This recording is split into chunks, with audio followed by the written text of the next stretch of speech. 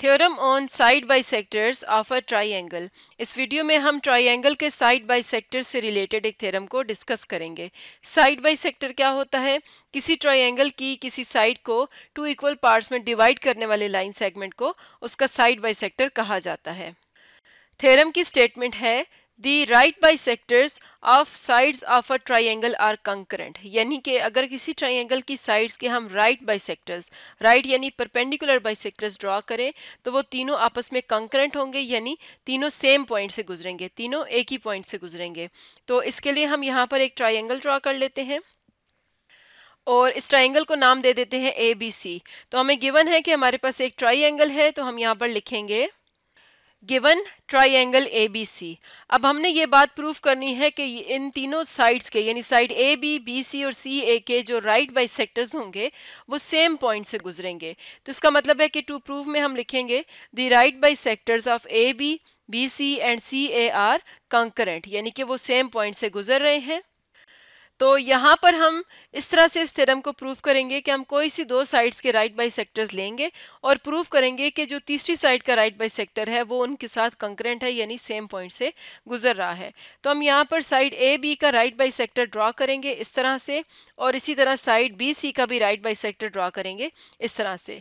जिस पॉइंट पर ये दोनों राइट बाई सेक्टर्स मिले हैं, इस पॉइंट को हम कह देते हैं पॉइंट ओ ये राइट बाई सेक्टर्स हैं, इसलिए हम यहाँ पर शो कर देते हैं कि ये 90 डिग्रीज पर है।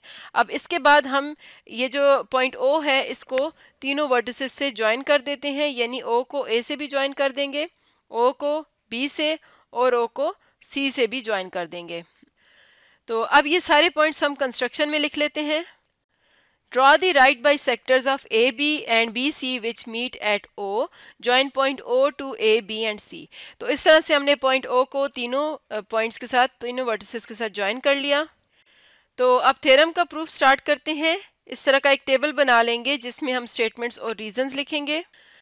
तो यहाँ पर हमने देखा कि हमने पॉइंट ओ को किस पर ड्रॉ किया है? हमने पॉइंट ओ को साइड ए बी के बाइसेक्टर के ऊपर ड्रॉ किया है। इसी तरह से पॉइंट ओ बी सी के भी बाइसेक्टर के ऊपर है। तो हम ये बात जानते हैं कि अगर कोई भी लाइन है और कोई पॉइंट उसके राइट बाइसेक्टर पर आ रहा है तो इसका मतलब है कि वो इस लाइन के एंड पॉइंट से सेम डिस्टेंस पर होगा।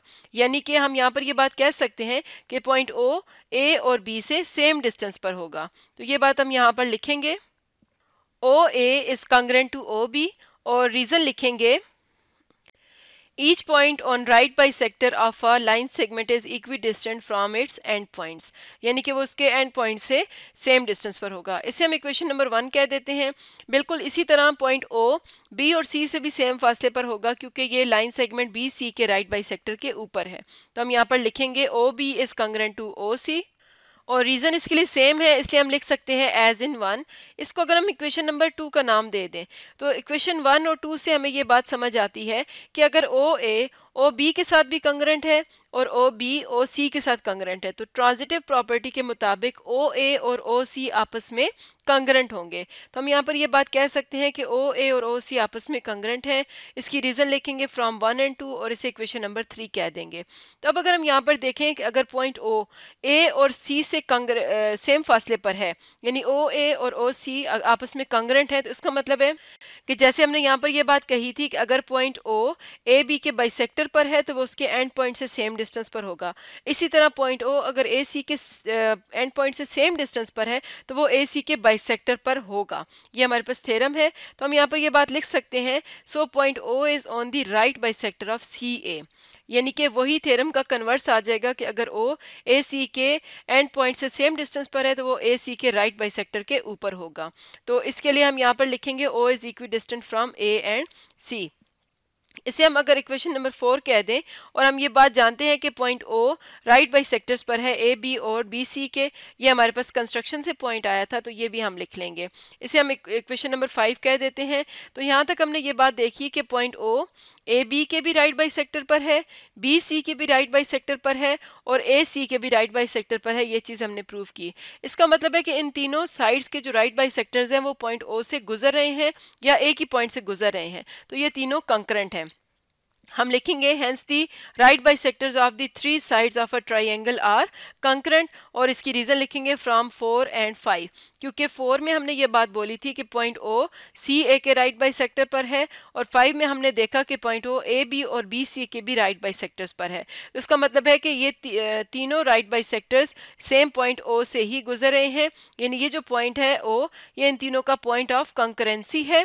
यानी कि यहाँ पर हम ये बात कह सकते हैं कि अगर हमारे पास कोई भी ट्राई एंगल है तो उसके जो हम राइट बाई सेक्टर्स ड्रॉ करेंगे, वो तीनों इस पॉइंट ओ से गुजर रहे होंगे, इस तरह से। यानी ये तीनों राइट बाई सेक्टर्स आपस में कंकरेंट हैं। तो इस वीडियो में हमने देखा कि किस तरह से राइट बाई सेक्टर्स अगर ड्रा किए जाएँ, ये बात आपने याद रखनी है कि राइट बाई सेक्टर्स यानी परपेंडिकुलर बाई सेक्टर्स की यहाँ पर बात हो रही है।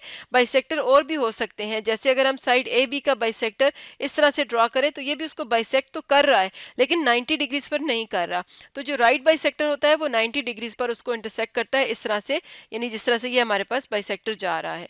तो इस तरह से तीनों साइड्स के जो हम बाइसेक्टर्स ड्रॉ करेंगे, वो तीनों एक दूसरे को पॉइंट ओ पर मीट कर रहे हैं या पॉइंट ओ से गुजर रहे हैं, जो उनका सेम पॉइंट ऑफ़ इंटरसेक्शन है या पॉइंट ऑफ़ कंकरेंसी है। तो आज का हमारा टॉपिक था theorem on side bisectors of are try